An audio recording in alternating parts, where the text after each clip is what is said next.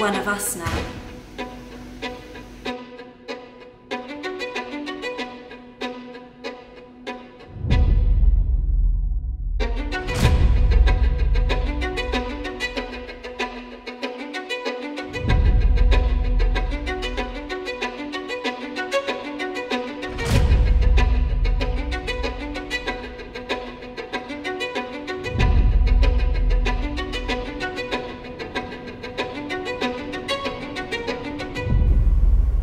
Your flight to Bali will be booked.